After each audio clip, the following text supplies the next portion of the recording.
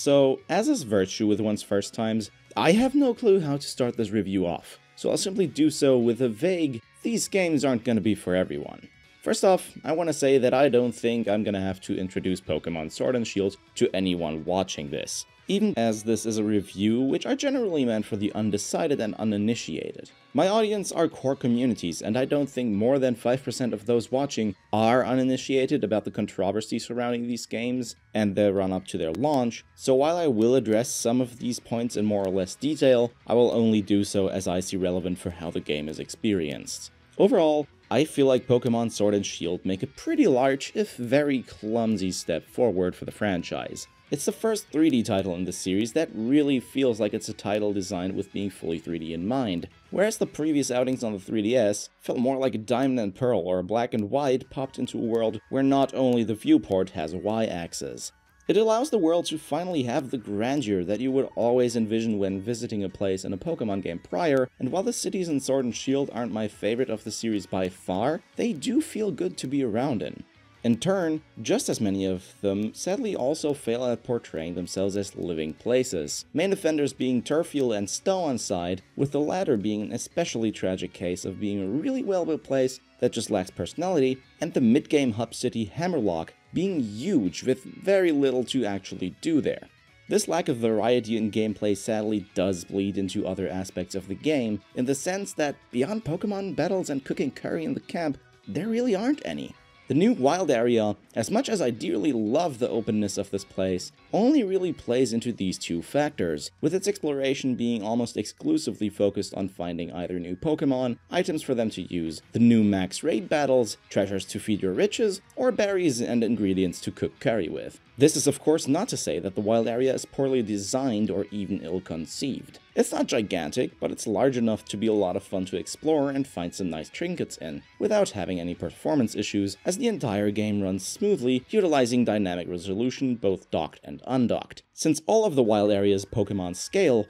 you can not only run into hilariously overleveled, unevolved level 60 Pokemon in the post-game, but there are also some static encounters that are always leveled a lot higher than your party, that should give you one hell of a challenge should you choose to engage them, with an equally huge XP payout should you triumph. There are a few design decisions that have split the community like no other, such as a limit on the level of Pokemon you can catch, but they all serve to make the wild area an important and fun part of the game while keeping game balance intact. Additionally, just to clear things up, there have been reports of performance issues in the wild area, however these usually coincide with being online. When you go online using the aptly named Y-Comm, since it's bound to the Y button, you can actually meet other players and join their camps and max raid battles in the wild area. This does, however, sometimes lead to stutters, though these are syncing and lag compensation courtesy of the Switch's poor online services rather than actual frame drops. The very strong focus on battling in these games, however, brings me to my biggest positive I can say about them,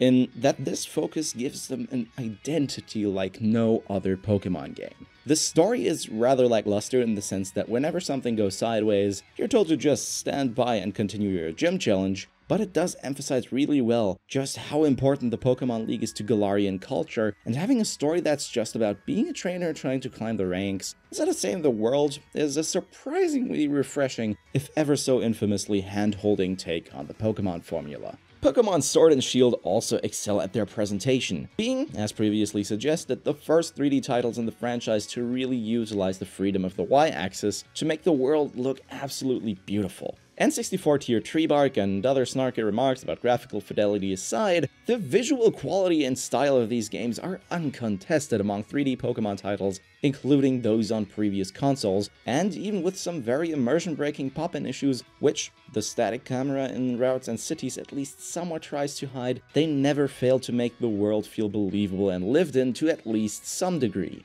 This all culminates in the new stadium-style gym battles. The new Dynamax feature that supersizes your Pokemon for 3 turns is exclusive to these and the new Max Raid battles, and it finally makes the staple gyms of every Pokemon game, save for Sun and Moon, feel like the huge events they're meant to be. Only you, the gym leader, your Pokemon, and a huge crowd of rabid fans It feels phenomenal to grind your way through a gym battle, cheered on by the audience, just for both of you to crack out the Dynamax for the grand finale and light the stadium up with gargantuan masses of elemental power that shake even your controller to its core, carried by the banger OST which lines your entire adventure. It's simply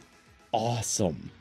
Additionally, with the inspiration for the new gym challenge coming from the UK's fascination for football, its finale isn't as stiff and mundane as previous titles, and instead actually throws the player into a tournament against other trainers that cleared the gym challenge, as well as rematches with a few of the gym leaders. While the matchups here are scripted, making the tournament effectively equivalent to the Elite Four of previous games, granted, here you have a gauntlet of five battles before facing the champion, the presentation gives it a much grander and genuine feel that conveys it as an actual event with a huge cultural impact for the entire region. It's hard to dislike any of the new Pokemon designs. Even though some of them look very derpy and a small handful are a bit of a pain to look at, they all have a very well-earned place in the Galar Dex, along with the returning Pokemon that fit the region, its locations and themes very well, and make a great complementary lineup along the region's originals, with a variety that makes you almost forget that almost half the complete lineup of Pokemon was axed for this game.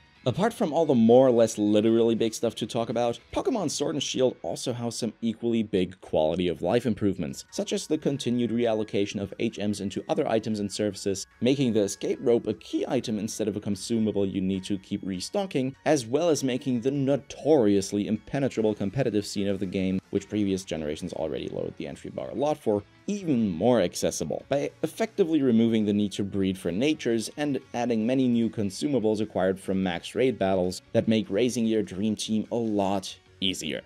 All in all, Pokemon Sword and Shield make an amazing step forward for the franchise. While their sole focus on the battle aspect of the Pokemon games make it so that they're definitely not for everyone in the core community, they nail that focus so well that if you do like yourself some glorified cockfights, these games are an absolute treat that you will not want to put down anytime soon. They even managed to make me absolutely adore those cockfights, which no Pokemon game prior has achieved, and on top of that they had me more engrossed and invested than any Pokemon game since Diamond, which is a Gigantamax claim coming from someone who was basically shaped by it. I can confidently, without a doubt in my mind, say that these are right up top as one of the best mainline Pokemon games out there. Anyways, after that travesty of a joke, I can't afford being around for more than two sentences.